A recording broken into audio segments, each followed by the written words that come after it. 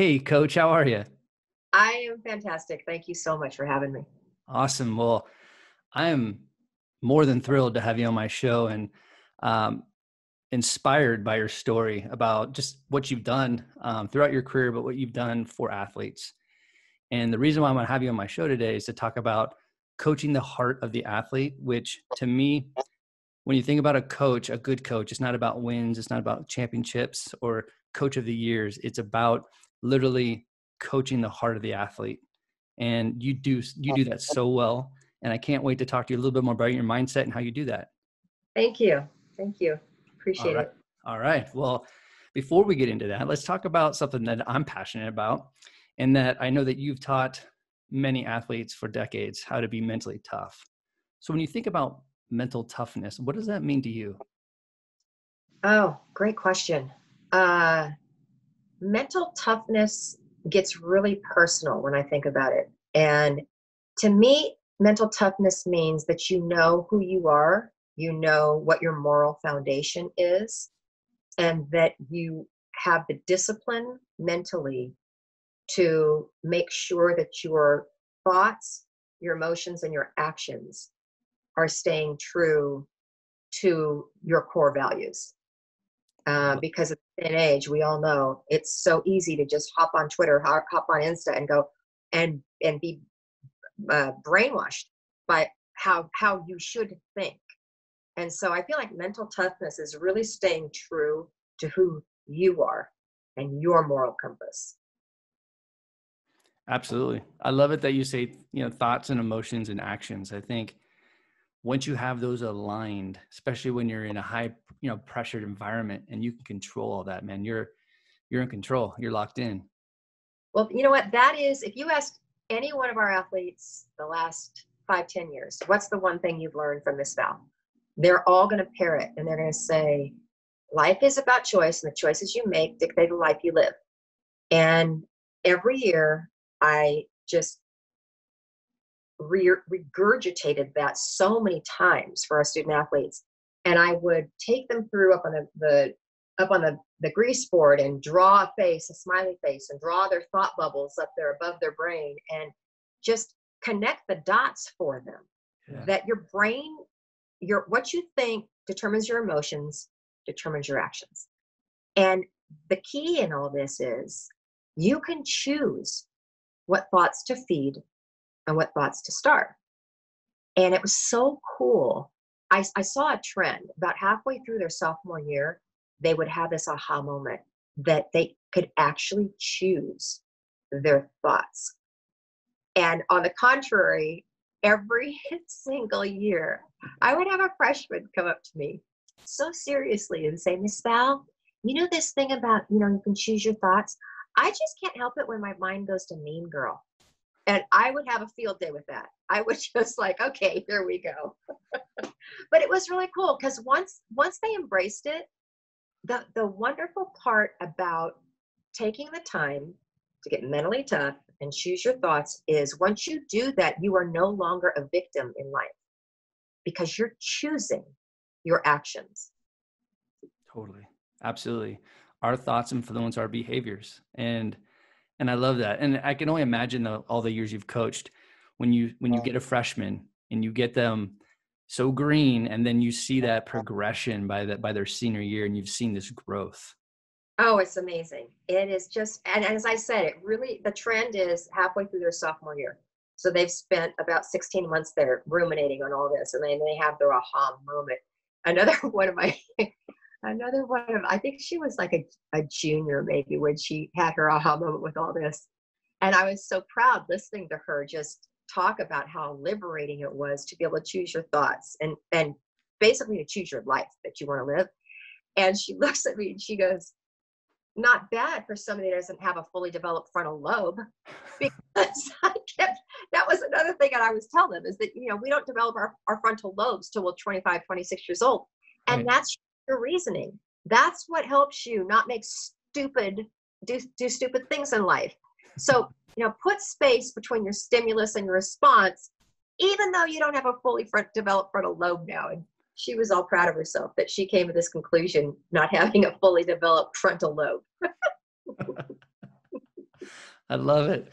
Well, when when you think about, and I know this is kind of this will probably be a tough question because you have so many years of of great athletes and great memories and experiences. But when you reflect on your whole career, can you share a specific time whether yourself had to be mentally tough or there was an athlete that you coached that in the moment did the right thing to be mentally tough?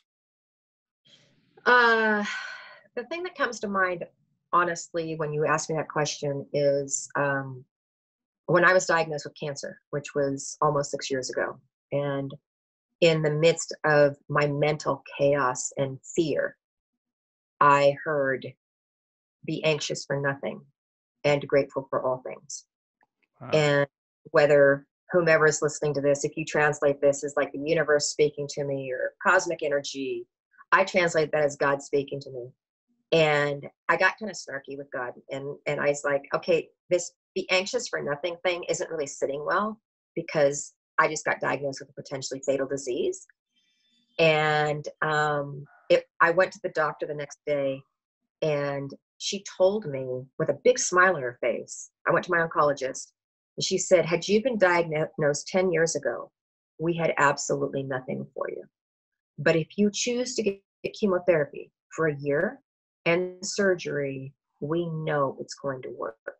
And it was like my whole world just stopped. Wow. And I understood the commandment that I was given be anxious for nothing and grateful for all things. I got to get chemotherapy because I lived at a time that had it. I mean, I was so grateful that I got to get chemo. I actually called it going to my chemo spa. And I shared this with our student athletes eh, how just switching that one word have to to get to oh, change perspective of life. It's you know what? It's so powerful. I talk about that all the time. When you get to I don't care what the situation is if it's if it's life threatening, if it's pressurized, stressed out, but you get to I mean, that's that's part of my mantra when I speak in front of large teams or large, you know, audiences. I always say, I get to do this. They want to hear me and tap into your joy. But when you say I get to, boom, right? That's awesome. Yeah. Oh my gosh, tap into your joy. Okay. Um, I'm kind of hijacking this interview right now, but oh, I love it. I love it. Uh, I was very, very fortunate. Last year, I had a one-on-one for about an hour with Kobe Bryant, and the majority of the discussion was about joy and how in anything you do in life, anything, studying for the SAT, going to the doctor's office, whatever it is, emptying the dishwasher, when you infuse joy in the process, it makes the results so much greater and grander. Oh, and man. he talked about um, he talked about the joy, the different. Well, we talked about the difference between fun and joy. And fun to me is kind of like external. Fun is stuff that happens that's fun. Joy is a deep rooted sense of pride that comes from knowing you've done a great job at something. And and Kobe said, yeah, me getting up at 4:30 every morning and going into the gym and getting in two extra workouts before the team ever showed up, that filled me with such joy. Hmm. It was fun, but it was joyful. Wow. You know, it's it's it's really interesting you bring up Kobe because it was really it was a special moment, but it was also a little bit eerie that I was reading his book, Mamba Mentality, and I finished it the day before he passed. And so, and I've been I've been picking it up, putting it down, picking it up, putting it down. I picked it up and I finished it, and it, it's to me because it's so about the mental side of of his game, which I connect with it was so intimate. Like I felt like he was having a conversation with me through his book, and then and then he leaves. I'm like, what the? And it was, yeah. um, but it was. I felt like I there was a piece of me that really got to experience him because I, I took the time to read, but it was just the timing of it. And.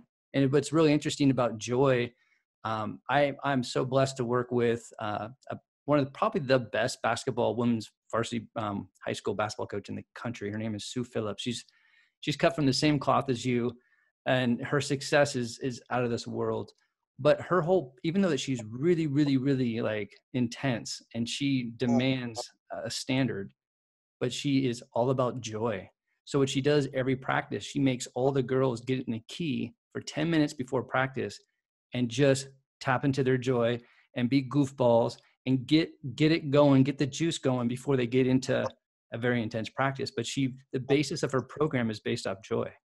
I love that. I love it. And so many people misinterpret that as fun.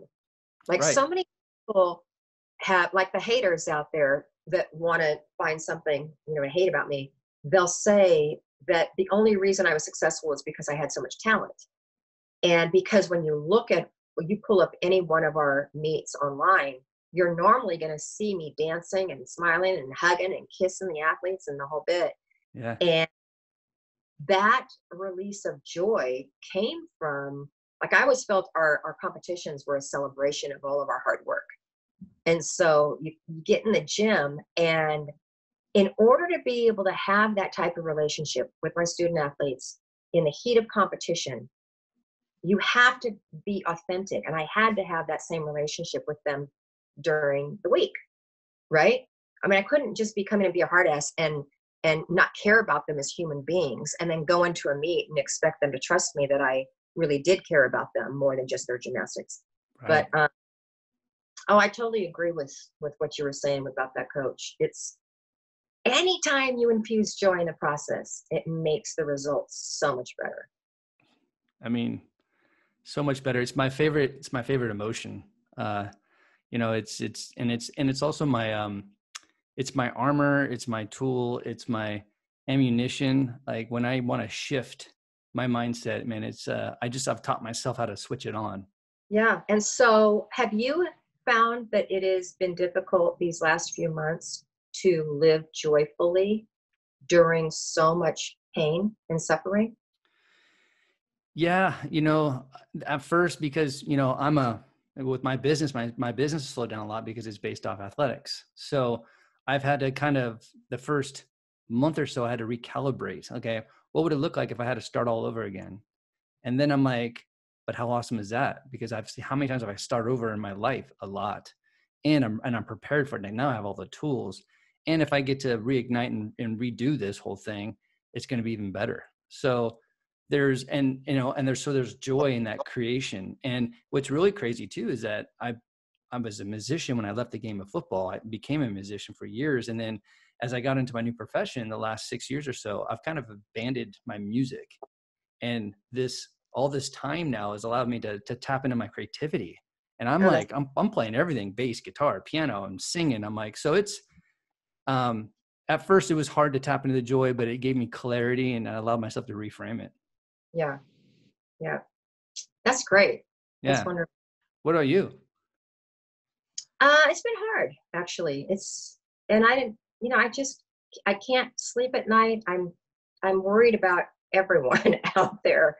Um, I would go walking with a girlfriend through this whole thing and, and like for weeks, I could, I was obsessed over what was happening in India and how many people were dying in India and dying of starvation and all that. And then my, I shifted to Yemen and then it's like, my husband's like, you don't have to go out, even out of the state to really worry about people. We got plenty of people here for you to worry about right but I had a really interesting heart to heart discussion with our sports psychologist and um, about how are we, why is it even okay to try to live joyfully when so many people are suffering? And I remember watching the news one night and, and watching a nurse that, you know, had the scars from the masks and everything. And she said, I am doing this so that you guys can live a healthy life.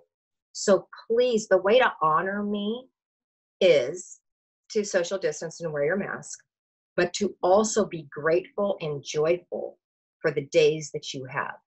yeah And it was like, I got it. You know, it, it- and this is how I've always felt about our military that the way I'm going to honor the people that have fought for my freedom in this country is by living fully and joyfully and appreciatively and gratefully. totally you know and i think there's there's all different kinds of uh, forms of joy. I mean obviously the joy that you and i are talking about you know that there's this it's it's there's a lot of frequency to it. It's powerful it's colorful it's it's positive. But i also think that from us when you're in service whether if that service is a thing that's heavy like being a nurse or you're dealing with uh, the homeless but there's even though that's heavy but there's joy to it. And i think uh, when you can still tap into that even though there's heaviness to it i think that um, joy can still live and still be you know that powerful thing. Absolutely and it's like you know you look at something that is not heavy it's not going to bring you joy it's going to bring you fun. It's called recess you know? Right, right. go out and play recess. Right. I just feel like the human body is constructed, the mind and the heart are constructed where we love a challenge because that is where we find the joy. You don't find joy in things that aren't challenging. It's just fun. Right, right. Exactly. Well, and when you think about, you just talked about the heart, and this is one thing I want to talk about um, about coaching the heart of the athlete because there was something and i was telling you earlier before we got on on the show that i'm very kinesthetic so i'm a feeler and the first time that i saw you in action on tv here i am i'm looking through a tv and i'm seeing you and the way that I, I saw you dancing and smiling i could feel your energy through the tv but as soon as i saw you hug one of your athletes i was like now that's a it just came out like that's a great coach. And then the more that i started to find out what you've done for you know for years and years with with ucla it made me realize how special you are because i've worked with uh, especially in the game of football which you know because you're married to a, a football coach um, and there's a beautiful coach that i worked for that he would say this in front of all of his parents every year when they came in for a parents meeting he goes if you're not okay with me hugging and kissing your son then i don't want him on on, on the team and if he quits which he won't. But if he does, then I'm going to go to your front door. I'm going to tell it's your fault because no one quits on my team. So, and I saw him every year kissing and hugging and telling the kids how much he loved them. And you don't get a lot of that in the sport of football.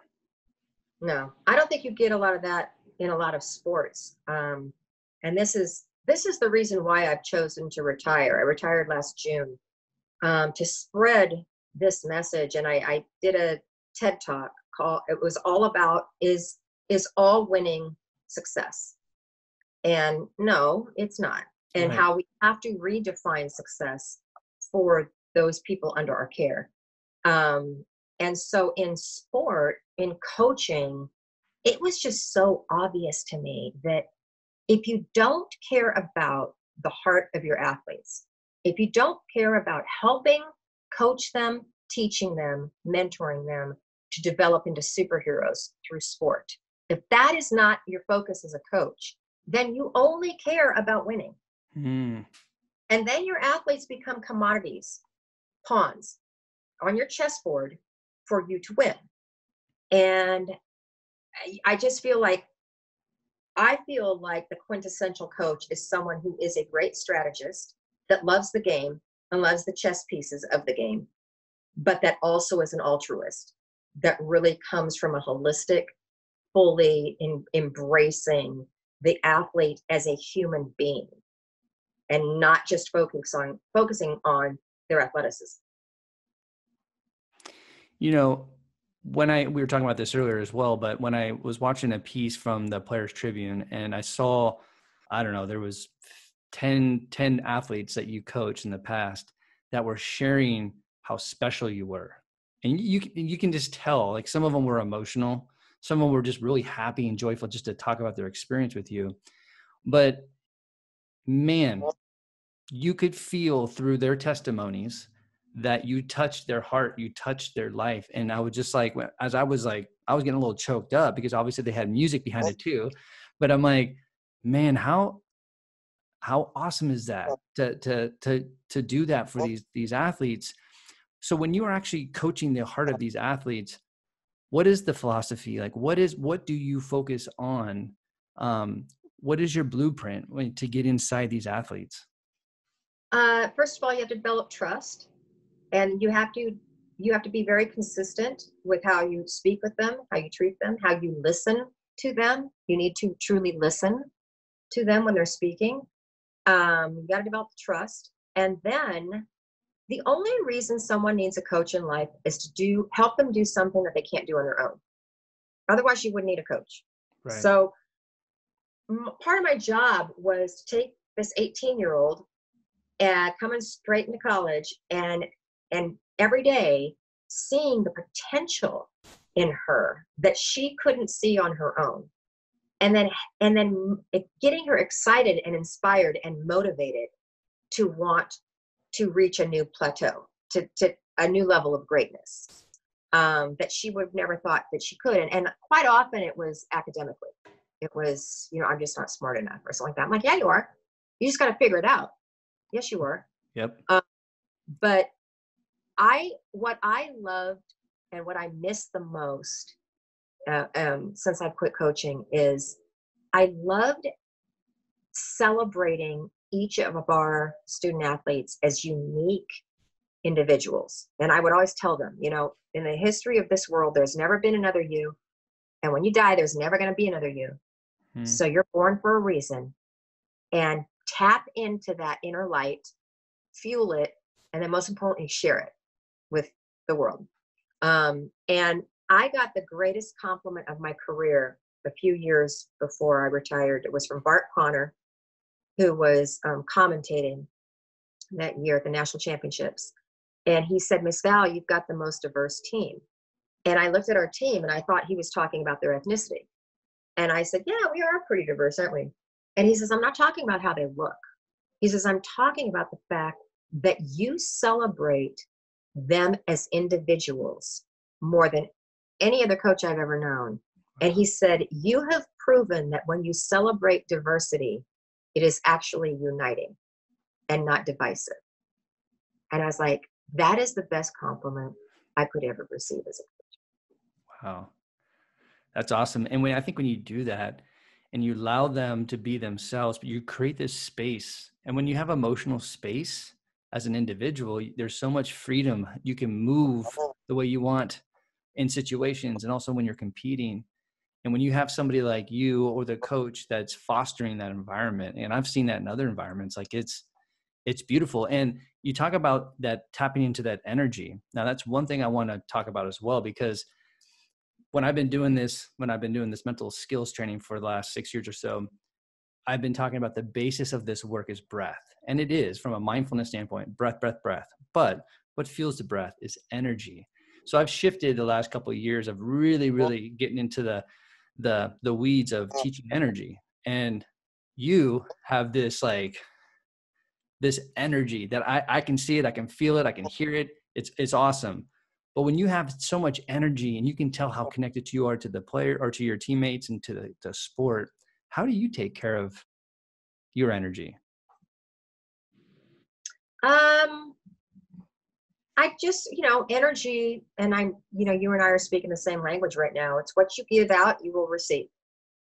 And so if I'm down in the dumps, the first thing that I'm going to do is go do something for someone else because that will fuel me. That will fuel my energy. And uh, it really all comes down to love. It comes down to loving human beings. It comes down to loving what athletics can do for human beings. The it's I, I've always felt it's a sport is a master class in life lessons that yep. you don't classroom. Um, and uh, I'm assuming a lot of your listeners out there are in the sports field and, and such. And so I'm going to name drop again. Uh, I was super, super close with Coach Wooden. And in his pyramid of success, which has been used all over the globe by not just sports people, but businesses and the military and such. He always was down on himself that he didn't put love as one of the bricks of the pyramid. Mm. And I would argue with him. I was like, no, no, no, coach, you're wrong. I think this may be the only time in your life you're wrong. But coach, you're wrong because if you would have singled out love as one of the bricks, they would have diluted all the other bricks. Because in order to have the in, in order to live each of the bricks of his pyramid of success fully it has to be infused with love. Each brick has to be infused with love. Right so the cornerstones of the pyramid are industriousness and enthusiasm working hard. You're not going to have a full brick of, in, of working hard if you don't infuse it with love just like we were talking about joy the same thing right totally yep and and I just feel that I love loved uh, my student athletes, even the ones that were in the neck, even the ones that didn't love me. Well, it's funny you bring up that that pyramid because I'm very familiar with it, but you're right. It's it the infusing of it is kind of like the cement around each block. Right. right? It's so yeah. Thank you. Coach, are you listening to this? Okay, I'm right. You're wrong. oh, I love it. Well, let me I want to talk about um vulnerability just because you know growing up as a kid you know it was a it was a negative word it was a bad thing it was a weak word and now as brene brown has done a lot of research and now it's it's a beautiful word and man tapping into your vulnerability and trusting yourself is is awesome and i've in some of your interviews that i've i've listened to you've talked about you wearing a lot of hats. So there's the coach there's the mother there's the friend there's the therapist. You're wearing all these different hats. How did like how did you find the balance of knowing the line of vulnerability within wearing those hats? And then was there a, a time where an athlete kind of took advantage of of you wearing all these different hats um i don't think that they took it any time that they took advantage of me because if they did it was because i allowed it or i wasn't strong enough to hold my peace i don't know but um uh yes i love brene brown i just got through teaching my very first course i'm a professor now i'm professor miss val oh. uh, at the uh, at UCLA in the School of Education, and it was uh, philosophy of coaching and leadership. And we studied all we studied ten different coaches: Phil Jackson, Bobby Knight, John Wooden, uh, Pat Summitt myself, all these coaches. But the underlying thread of the book was underlying book that we used the entire course was Brene Brown's Dare to Lead, yeah. and there these graduate students uh, four of them were football graduate assistants the other ones uh, all wanted to go into coaching. And they said exactly what you just said at the beginning of this. They said, I never thought of vulnerability as a strong word. I always thought it was, of it as a weakness. Yeah. But you can see now vulnerability is the first step to courage. And I had one young man in the class who's extremely bright. He comes across kind of like as a know it all. And he said, when I was when I was reading about vulnerability, I'm realizing that I've never allowed myself to be vulnerable. He said, because I'm, the, I'm, I'm a son of a coach. So when you're the son of a coach, you have to grow up and be invincible. And, and vulnerability is a weak word. And he said, I'm realizing now that it's not only held me back from my sport, he says, it's not being allowing myself to be vulnerable and show vulnerability has preventing me from having really deep friendships and i was like i love the fact that he had that aha moment in a course hmm. about sports wow that's that's powerful you know and i also think too with the word being vulnerable or vulnerability, I, getting athletes to think about being vulnerable with their play. It's one thing to be vulnerable with your feelings and sharing your thoughts and cracking up in your chest, like, "Hey, coach, this is what I'm feeling right now," and I hope you don't look bad at me for for being vulnerable. But then it's it's the basketball player or any other you know uh, athlete, but a basketball player that's missed eight shots in a row you know, and, and you have the game winning shot. Are you are you going to be vulnerable in the moment and trust yourself and trust all that hard work you've done in the in the dark, or are you not, and you're going to dish off the ball and then wake up the next morning questioning, like, man, should I've taken that shot? But even if you take the shot and you missed it, man, there's success in that. Like you stood in that moment and vulnerable, and you were brave and you're courageous. That is awesome. Right. Yeah. I've also noticed that with with the greats of any sport, um, they don't they don't assign a judgment on themselves personally when they make a mistake. They don't judge themselves. Mm. they at a strategic place of what did i do wrong and what should i do better the next time i get up to, to shoot a free throw you know? Right. Um, they don't go oh my god i suck. I'm horrible. I'm I, you know I, I'm I suck at basketball. They don't they don't say that. And I've noticed that with our gymnasts, the ones that the Olympians that have come in and all that, they can fall off the beam and go, they can get pissed, but they are they don't judge themselves for right. it. And that's and the ones that do, the majority of them do. With the majority of the athletes that I, you're, it's such a waste of time and energy. it is. Because you're, and then once you once you get over your pity party, you're still going to start and analyze what went wrong, what didn't go wrong, and then get back up on the beam and do it again. So let's just let's just leave out the beginning of that, the pity party and the judgment part, and just let's just go to the learning part. Yep, feedback. Uh, someone told me the coolest name for negative self-talk is the when you fail or you have a mistake, it's the itty bitty shitty committee. And when you when you plug into that, man, you give it so much power, and, and you you've lost you've lost your power, and you you're in the effect of this mistake that's in the past, and you can't do anything about it.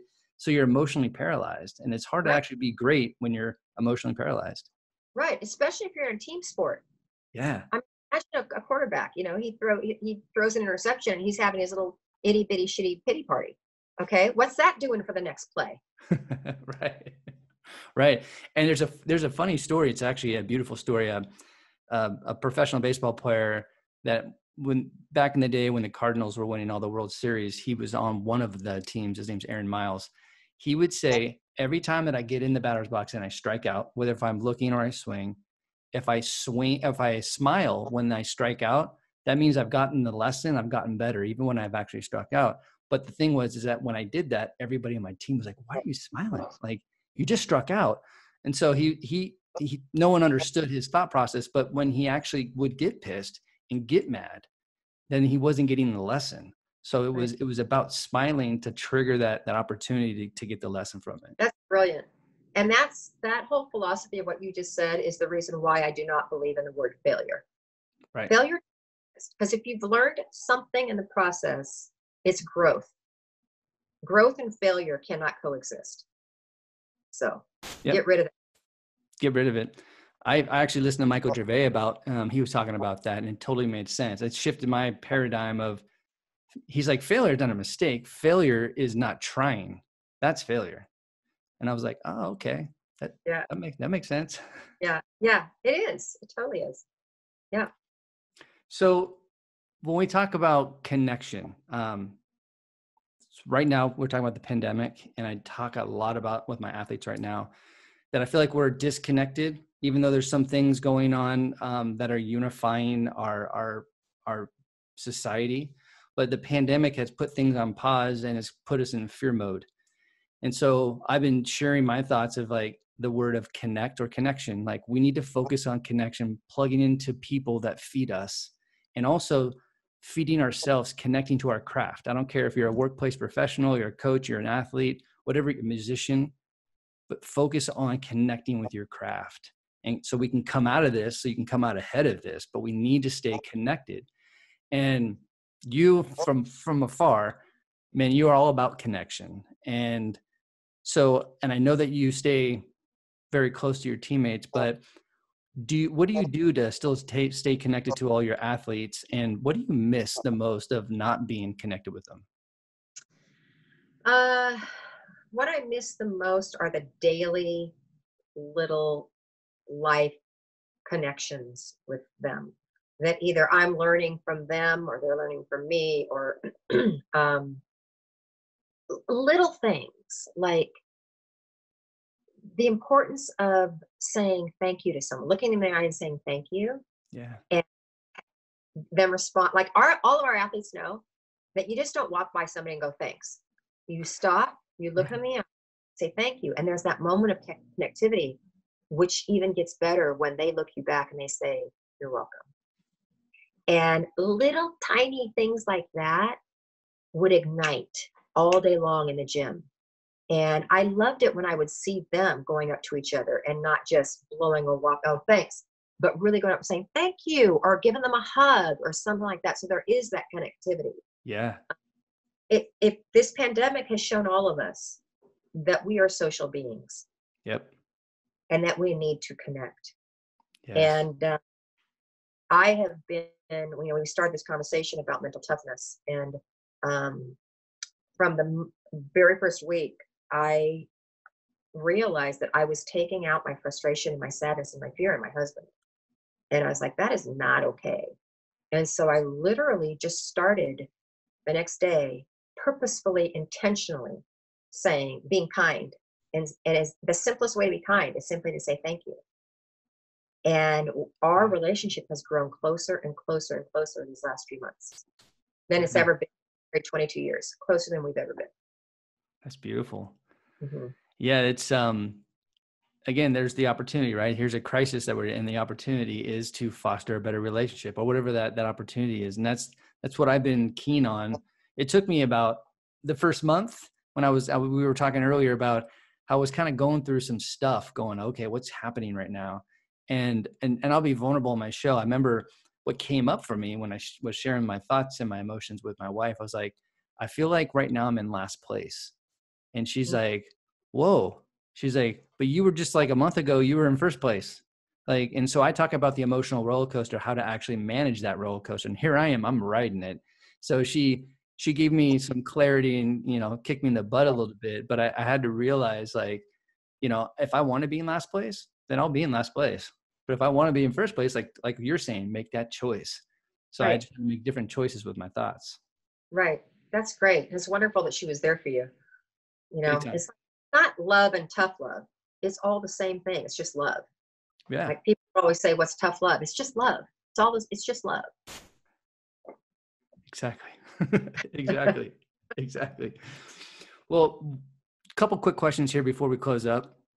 Um, going back to how you got into gymnastics, I know what what I think it is beautiful when there are coaches that have your success had didn't play the sport. There's a there's a coach that I work with for a volleyball team, um, one of the best in the country in high school. Same thing. He never played the sport, but he's just he he he plays chess in his mind, and he knows how to build relationships. Um, so you got into the sport with music, and which resonates with me because music is I think is so it's interchangeable with with sports um, in so many ways. But what was it that music got you into sport? And I, how important is it to like do you think that the music is important to creating rhythm with within your sport? Well um, i wish i could be as deep as you are with the whole music here but the truth is i was 16 years old i wanted a summer job.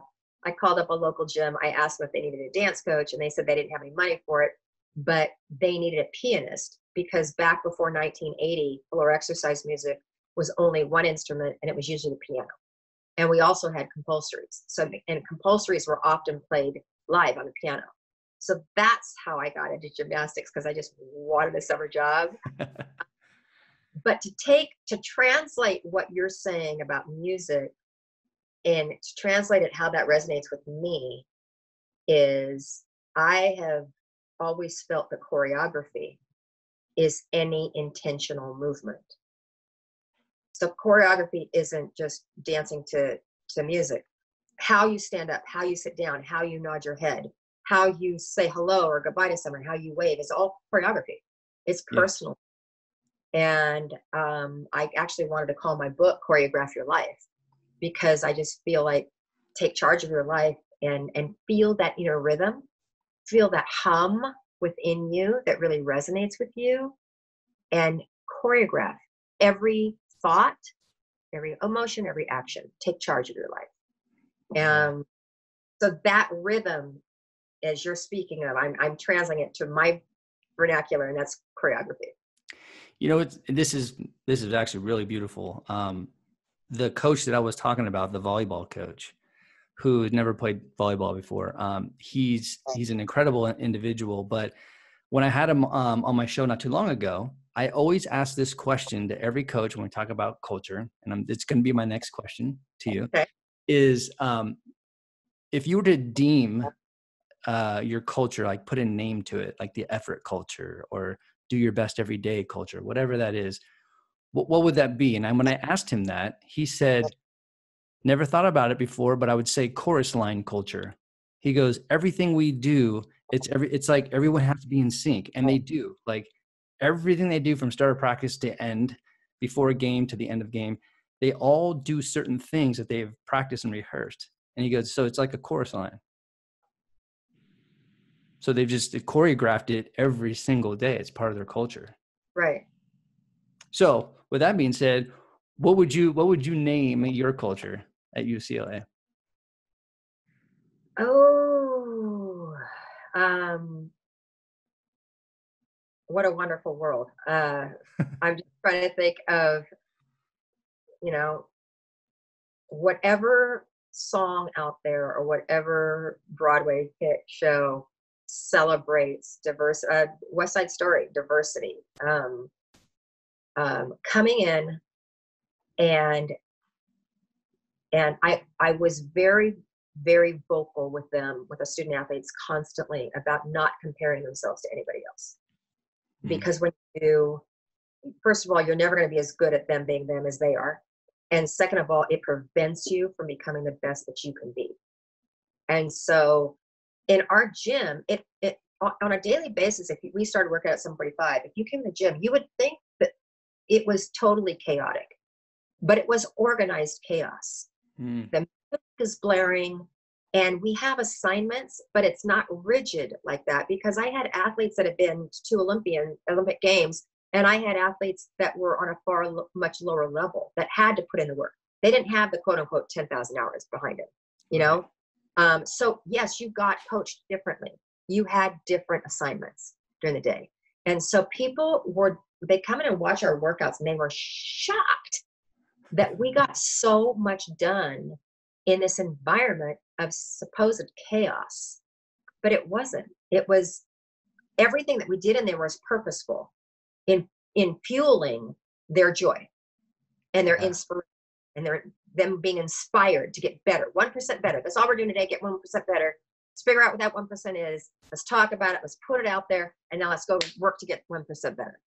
And that was the goal every day so I'm I'm not really answering your question about the culture because I can't find the right words, but I'm just seeing this this world like this of seeming chaos, but it's really not. Probably there's a lot of energy in that culture, right? A lot of energy and a lot of, of ownership and trust. Mm. Because we're gonna have the music blaring and you're gonna be off on the side dancing I expect you not only to get the assignment done, your assignment, but I expect you to have maturity to know when to stop dancing, to get yourself focused, to go up on the beam and perform well. Right. Totally. Yep. Absolutely.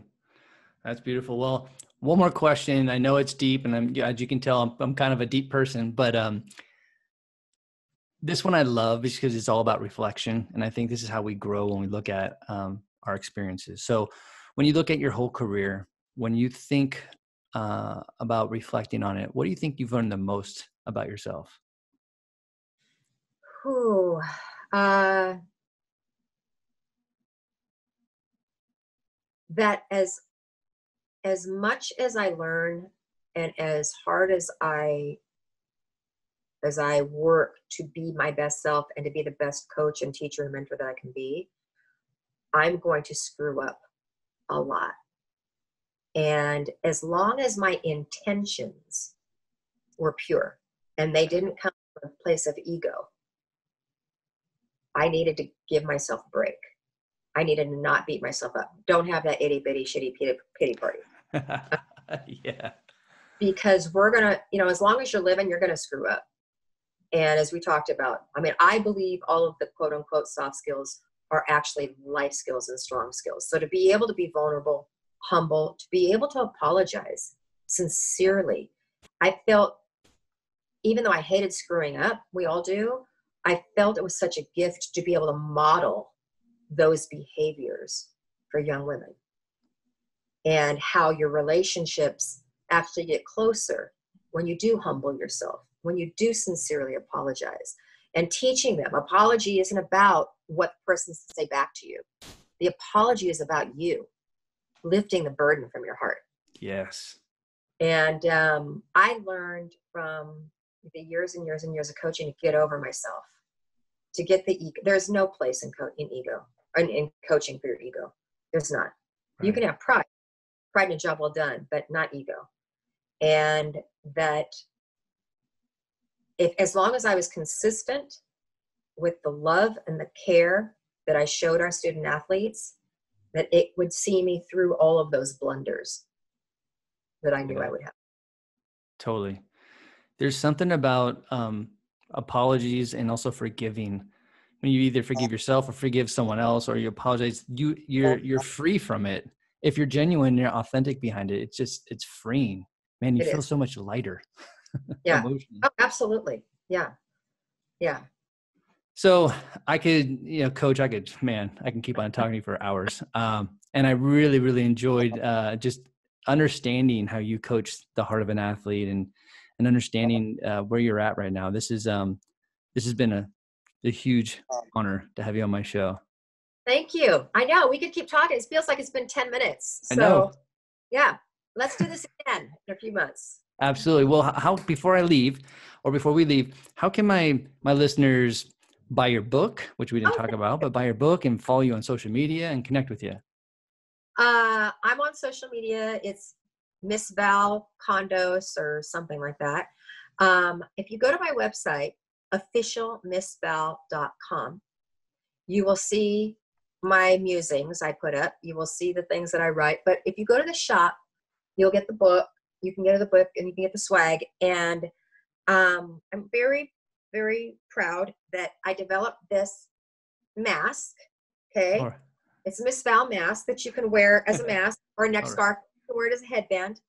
And all the all the profits from my book, from this, from all my swag, goes to supporting young girls that have been rescued from sex trafficking. wow. So please go to officialmissval.com and buy loads and loads of these. They work really well. They stay up really well, and they're half the price of what others are on online. So officialmissval.com. Thank you for asking. Appreciate that. All right. Well, I encourage everyone to go buy those. Um, that's an it's an incredible cause. And again, thank you for your your energy. It's you. awesome, and uh, and I can't wait to just keep connecting with you and uh, and watching you grow. Let's do it. Absolutely. Thank you so much. All righty.